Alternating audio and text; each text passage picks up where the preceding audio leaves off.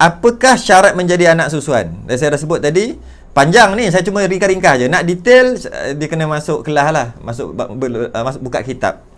Syarat uh, anak susuan adalah baby. Pertama baby, manusia lah baby.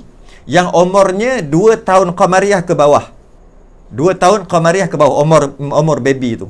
Kemudian uh, maka boleh disusukan oleh mana-mana perempuan dengan izin suaminya uh, ataupun mungkin juga perempuan tu tak ada suami pun dia makan ubat untuk untuk menggalak susu tu ada tak ada masalah. Janji ada susu. Disusukan anak itu sehingga lima kali kenyang.